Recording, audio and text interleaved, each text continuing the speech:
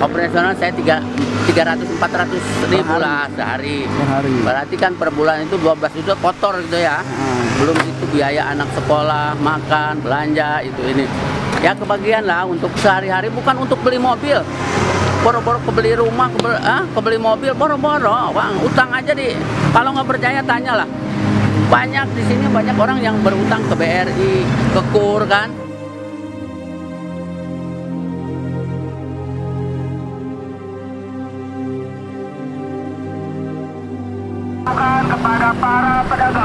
Segera merapikan puing-puing bangunan dikarenakan pukul 12 akan dilakukan pembersihan secara menyeluruh.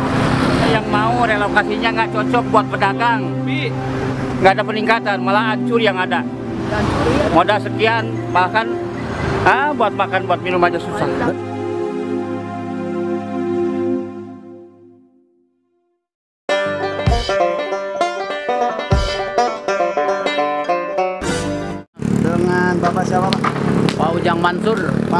Mansur. Eh, Pak Ujang Mansur di sini sebagai pedagang atau sebagai Bapak? pedagang pak. Pedagang. Bapak tokonya di mana Pak kiosnya Pak? Ya ini. Oh, kios yang ini? Ya, Oh, sejak berapa lama Pak pedagang Pak? dari 2013. Dari 2013. Ya. Bapak dagang apa Pak kalau boleh tahu? eh ya biasalah eh, kuliner ya. Oh kuliner Ya, makanan. seperti makanan, kopi, Oh. eh, terus soto mie, Oke. nasi goreng kan gitu ya. Ah, ah, ah. Dikarenakan ini jalur lintas ya, Mm-mm. jalur provinsi, jalur pulang orang-orang pada pulang. Mm-mm. Sebenarnya saya bukan jualan aja, Iya. Pak, sebenarnya. Ah. Maksud tujuan saya itu kan membantu masyarakat yang pulang tengah malam, Mm-mm. ya terlalu ngantuk, supir-supir, eh, terus eh, kalau mereka itu tak kempes ban, kecelakaan, yang bawa bayi, kehujanan, mereka sekarang mau mampir di mana? Pemerintah kan belum ada bikin eh, seperti macam apa namanya halte untuk berteduh mereka. Mereka itu kan manusia, Nah, benar? Saya juga ini dan kemarin ada selentingan dari ketua satpol pp ya. Kita dipindahkan ke rest area, katanya itu dengan alasan aja. Coba beliau suruh dagang di situ. Saya udah tiga bulan dagang di rest area ya, Pak. Itu saya punya eh, bikin masukin modal 15 juta. Paling baru masuk sejuta setengah, Pak Rest area apa Pak namanya Pak? rest area Gunung Mas itu menguntungkan apa merugikan mereka ini yang dibawa ke rest area itu harus dilihat dulu segi positifnya segi negatifnya dan rest area itu bikin rest area itu harus bagaimana Hah? Ini di mana? Rest area. Masa ada rest area di pagar? Tidak akses jalannya. Tidak ada. Parkir di mana? Pedagang di mana? Kan ini jalur lintas pak.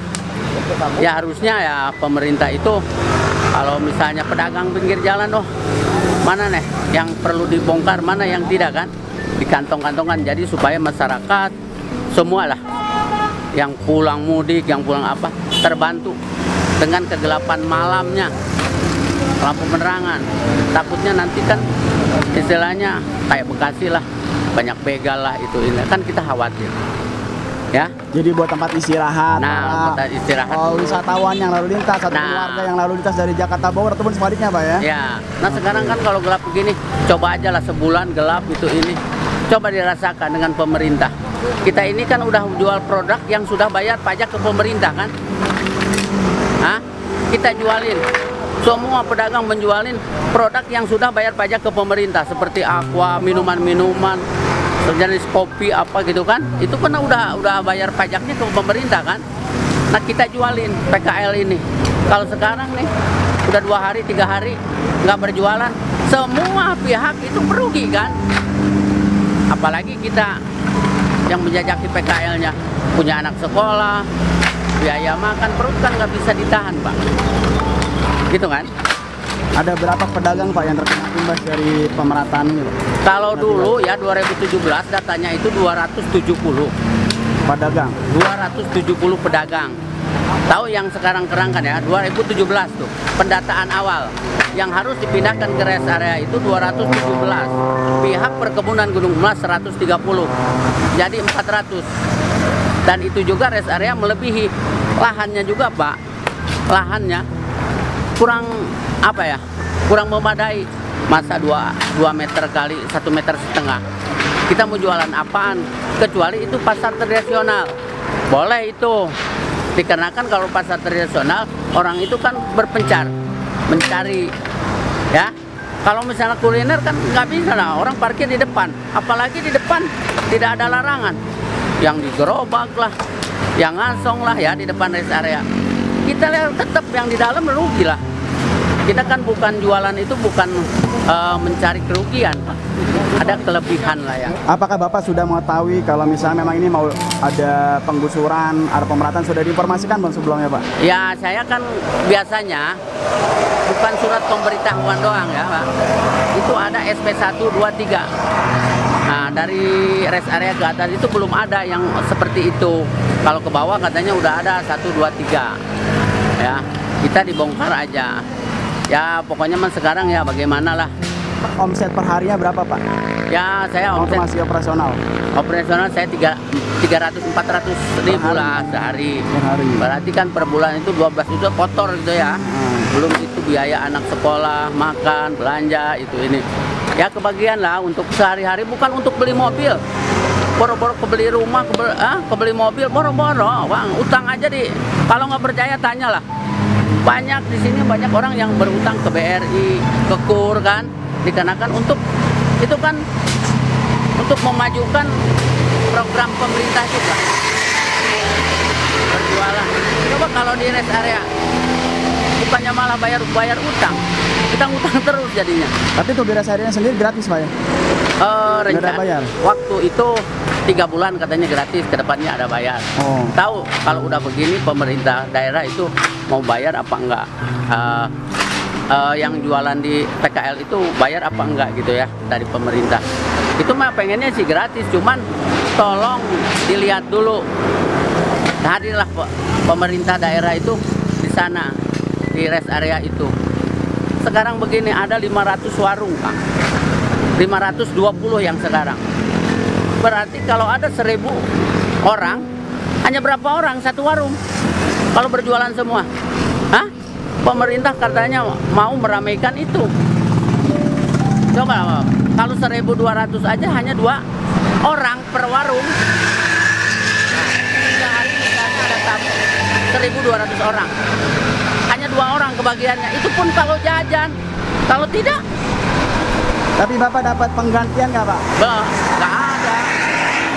Nggak ada penggantian? Nggak ada. Kalau udah begini pemerintah nggak ada ada penggantian itu. Ya.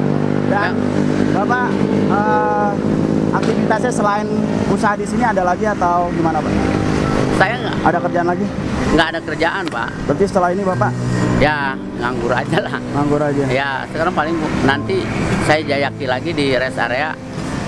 Eh, kalau itu pun rame ya. Mungkin kalau nggak ada dapat penghasilan malah menumpuk utang. Hah? Benar nggak? Mungkin PKL yang sudah dibongkar-bongkar ini mungkin ke pinggir jalan lagi, Kang. Harapan Bapak sendiri untuk pemerintah Pak? Harapan saya tuh dari pemerintah daerah, khususnya ya dari pemerintah daerah tuh tolong dilihat. Memang saya menduduki di lahan BUMN, ya. Tolong misalnya ada eh, kebijakan, tolong kasih kebijakan. Ada kesalahan, di mana kesalahannya? Kan ini kalau menurut itu tanah, air dan seisinya hak rakyat Indonesia, Pak. Tolong kami itu bina, bener nggak? tunjukin bagaimana kamu harus membayar pajak. Benar nggak? Membantu BUMN kan itu waktu itu Menteri BUMN Pak Erick Thohir 8 menteri habis dilantik ya Pak ya. Mari tingkatkan usaha masyarakat dengan BUMN. Kita yang menduduki lahan BUMN tolong dibina. Harus bagaimana caranya? Jadi supaya membayar tidak merugikan semua pihak. Pemerintah tidak dirugikan, masyarakat ah, bisa dapat penghasilan. Bagaimana cara penghijauannya dari Pemda, dari itu. Jangan kita yang di sini di pinggir jalan merusak penghijauan, penghijauan. Kita masyarakat kecil lah, bisa dihimbau bagaimana caranya. Oke Pak, terima kasih Pak Ya. Ujang atas informasinya. Sehat selalu Pak. Kita lihat ini adalah para pedagang yang menyelamatkan hartanya. Dikasih waktu sampai jam 12 gitu. Sampai jam 12, Pak? Nah. Kalau nggak sampai jam 12 kenapa, Pak? Ini tarik pakai truk.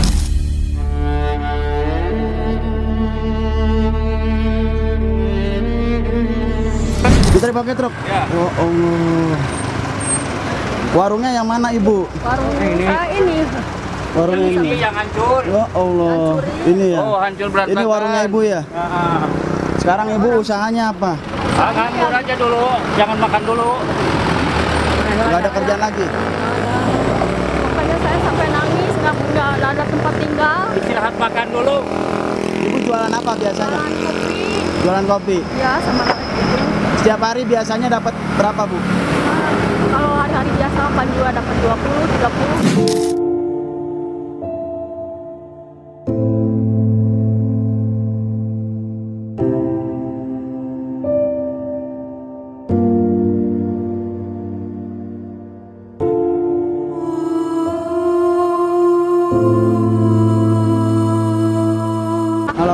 ramainya Sabtu Minggu aja di sini Terus barang-barang ibu masih ada yang bisa diselamatkan.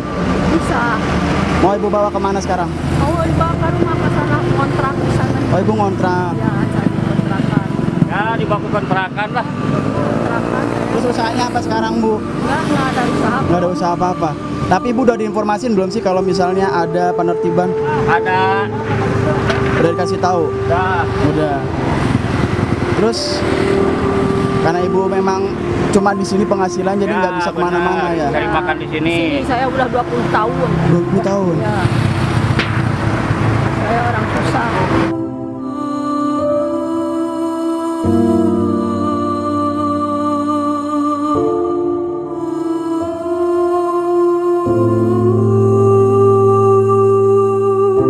Berapa kios bu yang diratakan? banyak ke sana sabarang kios pak diratakan sabarang kios Hah? Berapa Hampir 300 lebih. 300 lebih.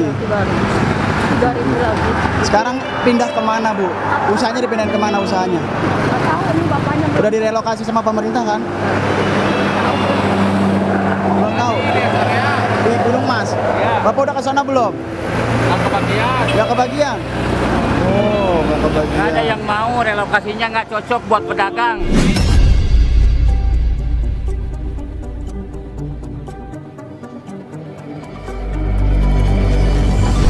Sepi lagi, nggak ada. Jadi nggak ada peningkatan, malah hancur yang ada. Modal sekian, bahkan ah buat makan buat minum aja susah. Berarti Bapak udah sempat ke sempat masuk. Berapa bulan?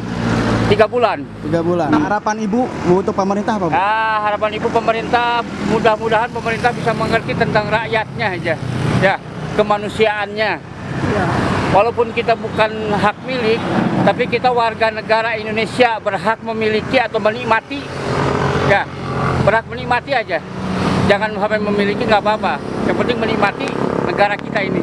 Barang-barang yang masih bisa terselamatkan apa aja barangnya, Bu? Alhamdulillah kalau barang-barang masih bisa. Ladang-dagangan Dagangan alhamdulillah. Alhamdulillah. Nah, tapi kalau ke atas hancur, habis semua. habis semua. Termasuk Termasuk yang di makan depan. makanannya juga. Hah? Barang makanan juga dagangan. Barang-barangnya juga habis. Ya, Yang sabar Bapak ya. siap. Semoga ada hikmah di balik kejadian ini, Bu. Terima kasih, Bu.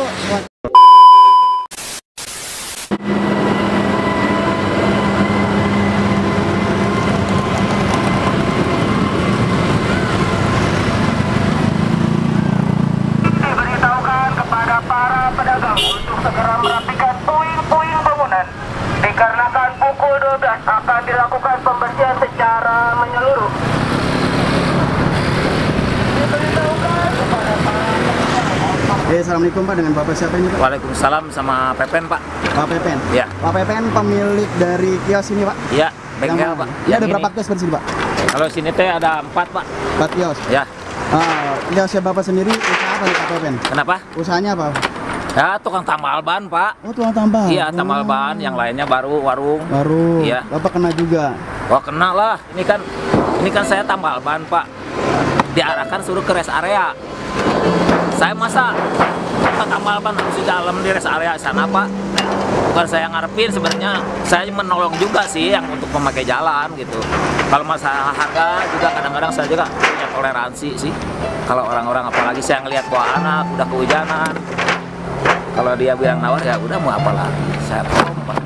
Oh, Ya jadi- mudah-mudahan mudah-mudahan ini ke depannya semakin memang apa aman gitu Pak daripada sekarang Ya mungkin ini apa PJ Bupati ini Pak kan baru Pak ya. Jadi nggak tahu bagaimana malamnya di puncak, bagaimana siangan di puncak. Taunya dia ada warung harus bersih gitu aja. Nggak tahu pemikirannya nggak sampai di mana gitu. Warganya saat ini sudah direlokasi Pak. Direlokasi ke mana seperti saya sendiri Pak? Mau pulang ke mana? Saya tuh nggak punya rumah. Bapak asli sini. Asli saya orang sini pak. Asli saya dari lahir di sini. Makanya saya tahu pak. Siang malam kejadian di puncak dari dulu dari ta- tahun sekian. Tapi sekarang alhamdulillah selama ada pedagang di jalur puncak tidak ada perampokan, tidak ada mobil masuk ke jurang. Kalau dulu tahun 90 ke atas, tiap malam mobil kadang-kadang masuk jurang, dikarenakan di jalan gelap. Terus lagi kadang-kadang anak sekolah pada tawuran. Sekarang alhamdulillah ada anak sekolah tawuran di backup sama PKL. Anak Cianjur sama sekolah dari bawah kan backup dari sama PKL. Ada kecelakaan yang menolong PKL. Tabrak lari yang ngejar PKL juga alhamdulillah Pak. Tapi nggak tahu deh ke depannya kalau udah gini gitu. Jadi Bapak belum tahu kelanjutannya Bapak akankah buka usaha lagi di mana nggak tahu. Ya insya Allah kalau saya tetap Pak, kalau misalnya ini saya tetap tamal masa profesi saya situ Pak. Keahliannya di sini ya. Kayak saya. Kalau memang misalnya saya keliling misalnya kan, saya misalnya buka lagi di sini. Kalau digusur lagi misalnya, saya ter- ter- ter- apa terserah aja. Mau pasang badan aja, saya mau gimana kan boleh saya. Gitu. Pasrah aja Pak ya. Pasrah saya. Soalnya kan di sini ada yang lebih berkuasa gitu Pak. Ya, Kak. Ada- Semoga ada hikmah dari Amin amin Pak, ini, amin ya. Pak, amin Pak. Semoga rezekinya Bapak makin melimpah setelah Amin ini. amin amin Pak, amin Pak. Saya ikut prihatin Pak ya. Ya, terima Oke. kasih ini Terima Pak. kasih Bapak. Atas ininya atas doa dari Bapak saya terima Pak. Sehat selalu Pak Pepen beserta Amin amin warga. amin amin. Terima Pak. kasih. Ya. Oi, burung merah di atas tembok Siapa dia yang tampak elok? Lepas rindu berwajah sendu Manis cerita, manisnya cinta. Naik basikal duduk berdua Bercengkrama layar adu dan raja